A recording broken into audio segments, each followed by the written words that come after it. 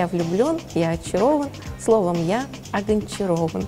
Серпаста, молоткастый. Хотела, кстати, тоже вспомнить, Шлепохвостница, слепандас, чем же они отличаются. и головотяпство и благоглупость мы еще можем употребить. Действительно было популярным. Здравствуйте, это программа о русском языке. Я Ирина Сафронова. И сегодня будем говорить о том, как появляются в нашем русском языке слова, откуда они берутся, как вообще появляется человеческая речь. Конечно, она складывалась тысячелетиями, но иногда слова придумывают специально, например, писатели или поэты. Вот об этом поговорим сегодня с моей собеседницей. Это заведующая кафедрой русского языка и литературы Павловской академии образования и искусств имени святителя Алексея Анастасия Владимировна Трофимова. Анастасия Владимировна, здравствуйте. Добрый день. Есть ли для таких слов какой-то специальный термин, как эти слова называются, и как часто мы пользуемся ими в своей повседневной речи? Мгм. Термин такой действительно есть. И в научной терминологии такие слова называют оказионализмами. Но у них множество занятных синонимов. Как их только не называли. И слова однодев- однодневки, и слова самоделки, и слова метеоры, и индивидуально авторские образования и эгологизмы. Но в широком смысле мы понимаем оказионализмы как разновидность неологизмов, новых слов. Чем же они отличаются? Да, оказионализмы действительно, как правило, имеют конкретного автора, а, во-первых, а во-вторых, они создаются под конкретную речевую ситуацию, а значит, употребляются и живут в определенном контексте.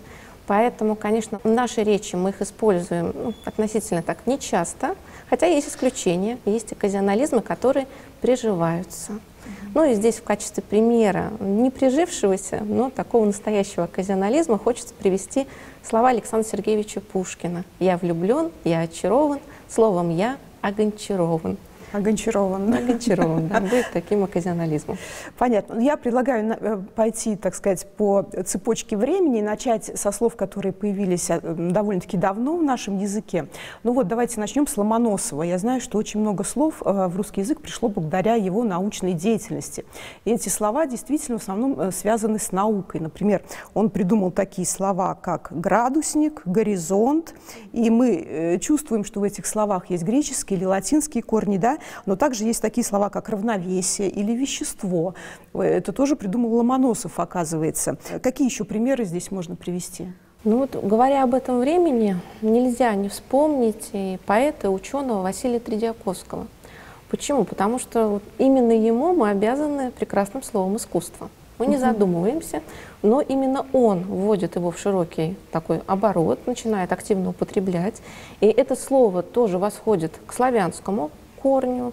И вот, то есть искусство, так же, как и ямб, и хорей, приходит к нам от Тредиаковского. Когда-то это был оказионализм, а теперь мы в своей жизни без искусства, без этого слова представить просто не можем. А славянский корень это какой? Ис- искус, Да, как вот да, говорят, да, да? То да. есть это такое не, не- не- не очень-то приятный получается, да, оттенок?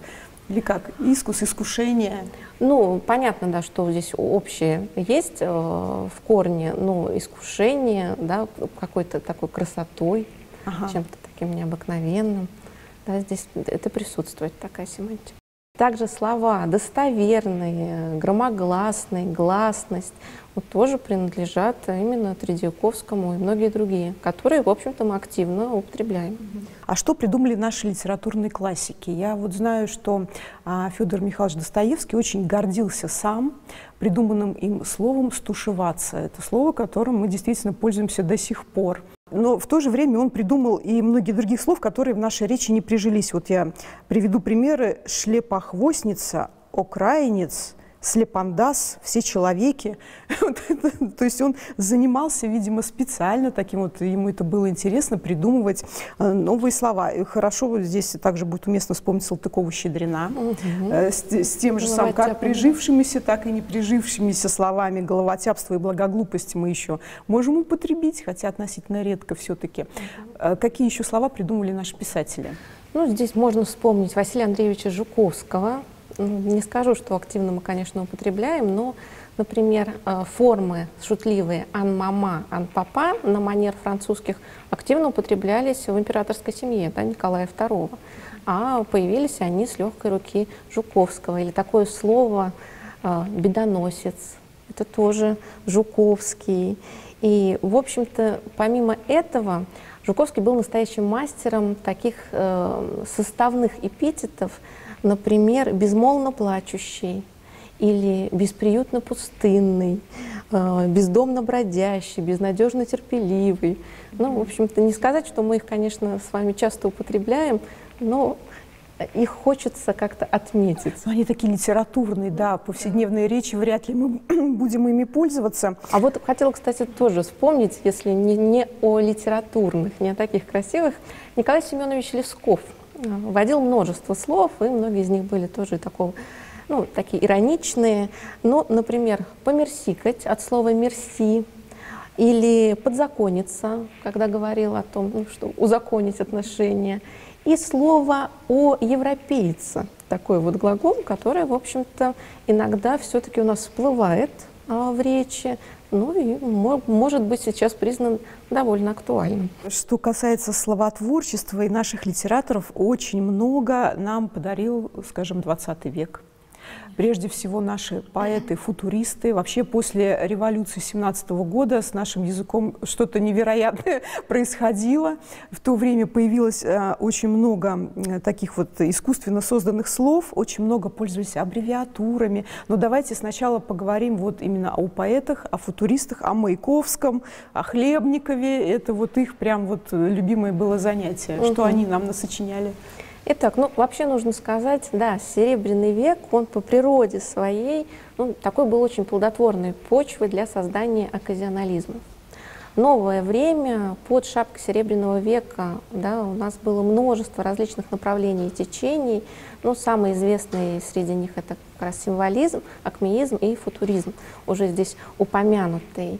И э, новые поэты и писатели отказывались от того, что было раньше, искали новые формы, да, и в литературоведческом, и, в общем-то, в таком языковом ключе, поэтому словотворчество, а если мы говорим про футуристов, создание такого особого даже языка, который назывался заум, действительно было популярным. Но с футуристов, наверное, нужно начать по праву, потому что действительно здесь было множество оказионализмов, разных по характеру. Вспоминали вы уже Велимира Хлебникова, он был таким мастером фонетических оказионализмов. И здесь, конечно, хочется вспомнить, да, ББО пелись, губы э, и так далее. То есть э, здесь вот мы видим такую игру со звуком, с цветом, который создает образ. Так на холсте каких-то соответствий, не протяжении жило лицо здесь у нас. А, ну, нельзя не вспомнить Маяковского. У него множество тоже оказионализмов, но из тех, которые вот мне лично нравятся, это, например, а, ну, сливеют губы с холода, да, имеется в виду, что меняет цвет. И самые любимые у меня это из облака в штанах «любеночек». Да?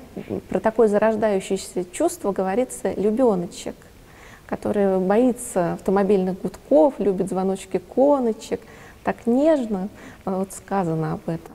Да, многие считают Маяковского таким громогласным поэтом, а вот если почитать внимательно, там замечательная ли лирика у него есть, тоже да, есть. есть разные произведения, но на футуристах словотворчество не заканчивается ни в коем случае.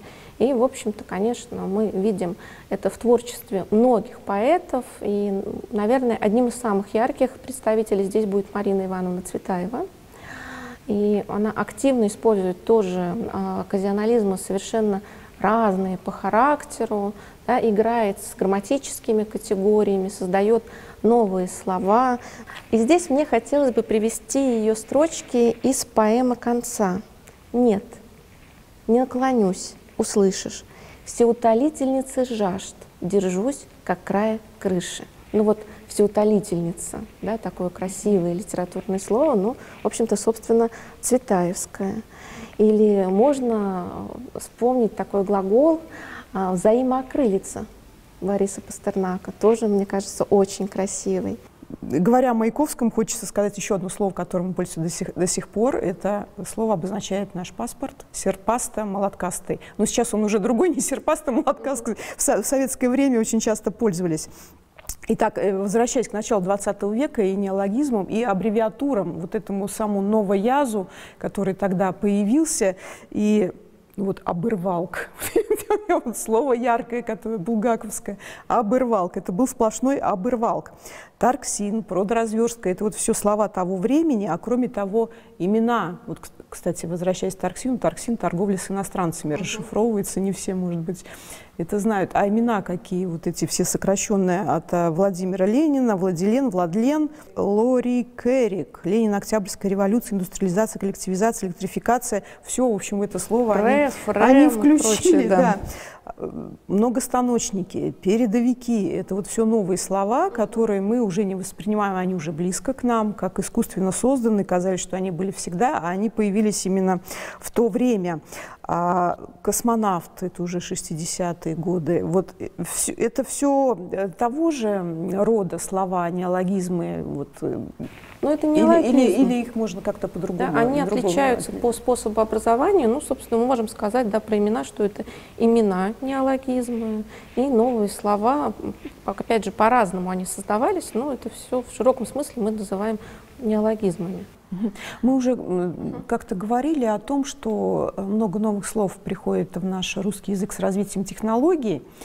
А, в том числе это не только технические термины, например, такое понятие, как инфо-цыгане. В последнее время появилось, ну, как пример.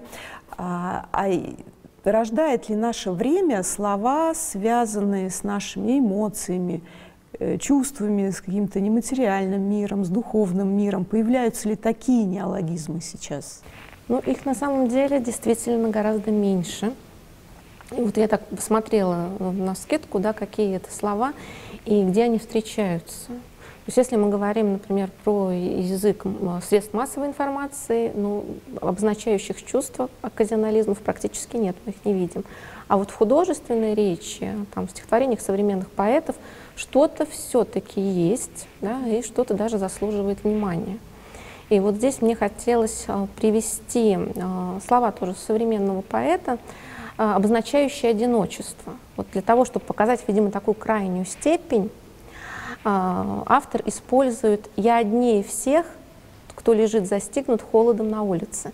То есть это форма «однее», которой нет у нас в русском языке, показывает, что я самый-самый одинокий. Да, или для того, чтобы показать вот такую тревогу или душевную боль, используется тоже форма сверлицо, ну, от сверло. Вот бы разум выдернуть эти сверла, 101 проклятое сверлицо. Но mm-hmm. это все обозначает чувство, при том так достаточно ярко это делает, на мой взгляд.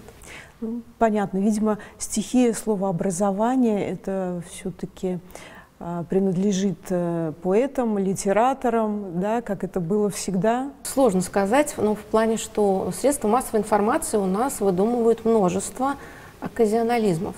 Угу, да, но только вот сфера чувств все больше принадлежит действительно поэтам и писателям, и современным в том числе. Спасибо вам большое за этот разговор. Думаю, будет интересно. Будут люди обращать теперь внимание на то, откуда появляются слова. Спасибо, Спасибо. вам. Всего доброго.